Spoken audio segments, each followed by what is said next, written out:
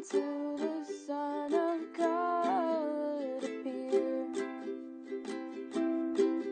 Rejoice, rejoice, Emmanuel shall come to thee, O Israel. Oh, come thou day